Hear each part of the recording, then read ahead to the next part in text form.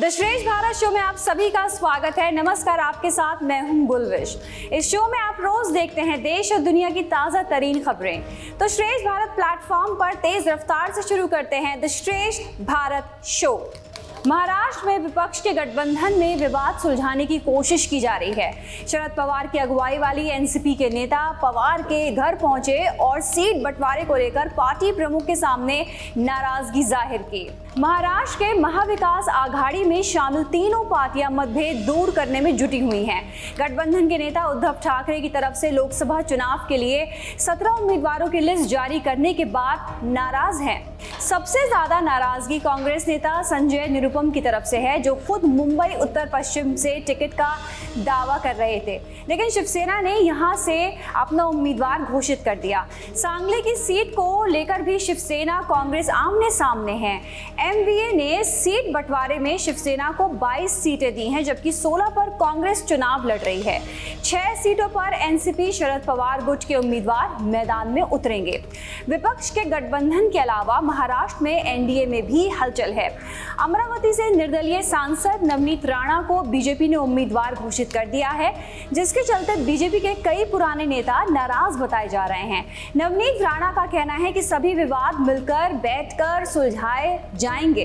तो हम ऐसे घटक हैं कि समय आया तो साथ रहो और समय खराब है तो छोड़ दो। ऐसे घटकों में से हम नहीं हैं, पर फिर भी मैंने सभी को विनंती की, क्योंकि सभी हमसे बहुत ज़्यादा सीनियर है। तो मैंने एक उम्मीदवार करके और एक बहुत जूनियर उम्मीदवार करके मैंने सभी को हाथ जोड़ के विनंती भी की कि मोदी जी के जो सपना है, देश में अब की बार 400 पार और 400 में एक अमरावती हो इसके लिए जितने भी एनडीए के घटक है, वो मोदी जी के सपने के लिए और अमरावती के विकास के लिए सब एकजुट होकर, एक मंच पे आकर, एक साथ काम करें। बढ़ते हैं अगली खबर की ओर। कांग्रेस ने बुधवार देर रात आगामी लोकसभा चुनाव के लिए अपने उम्मीदवारों की आठवीं लिस्ट जारी कर दी है। इस लिस्ट में चौदह उम्मीदवारों के नाम शामिल हैं। कांग्रेस की आठवीं लिस्ट में सबसे बड़ी बात यह है कि उसने पार्टी के दिग्गज प्रवक्ता सुप्रिया श्रीनेत का टिकट काट दिया है।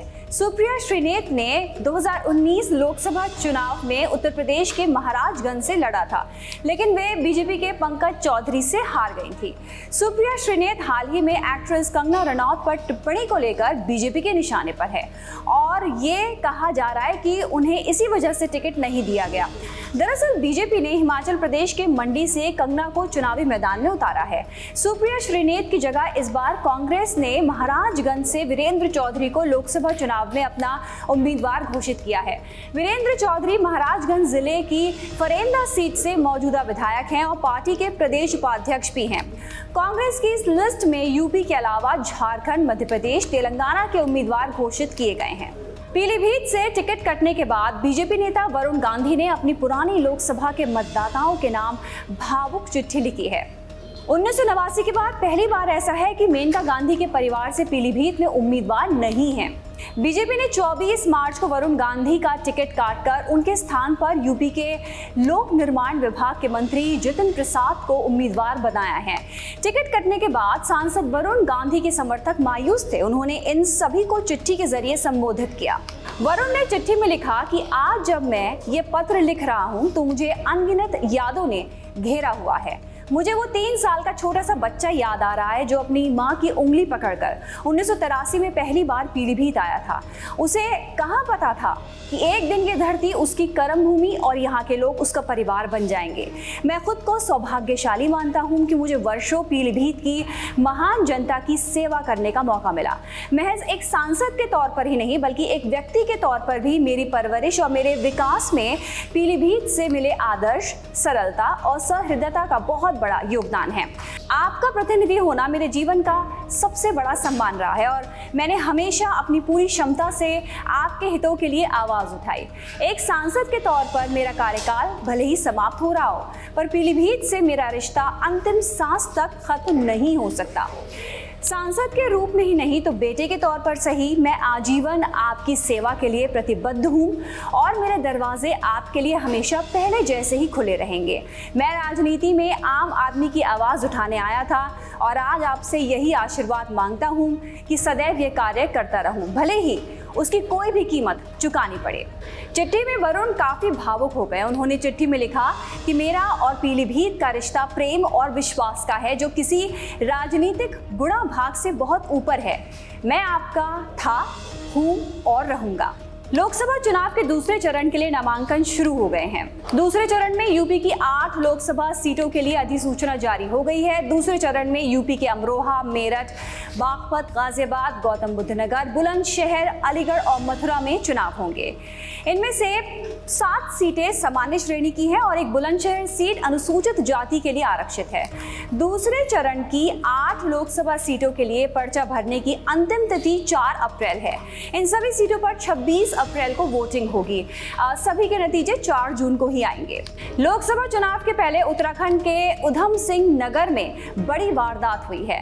ज़िले के नानक मत्ता में नानक मत्ता डेरा कार सेवा के प्रमुख बाबा तरसेम सिंह की गोली मारकर हत्या कर दी गई। इस घटना को लेकर क्षेत्र में तनाव का माहौल बना हुआ है।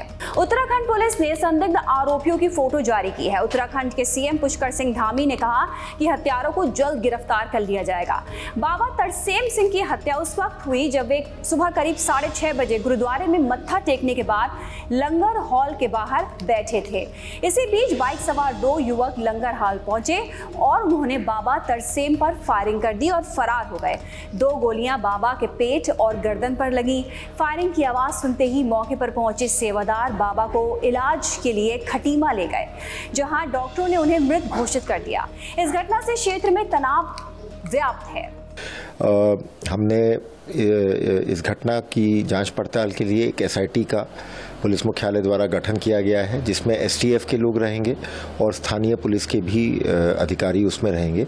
और इस एसटीएफ को कहा गया है कि इस केस को टॉप प्रायोरिटी पे लेके इसके सभी पहलुओं की गहनता से जाँच करें।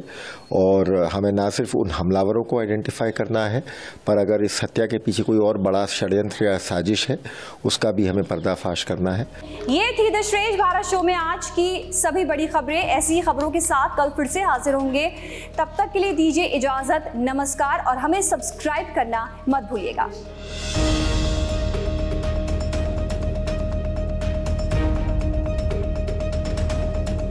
श्रेष्ठ भारत पर खबरों से जुड़े रहने के लिए चैनल को सब्सक्राइब करें, बेल आइकन दबाएँ और देखते रहें श्रेष्ठ भारत।